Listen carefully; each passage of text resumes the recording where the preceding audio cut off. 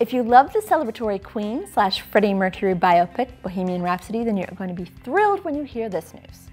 Next summer, Queen and Adam Lambert are hitting the road for a six-week summer tour.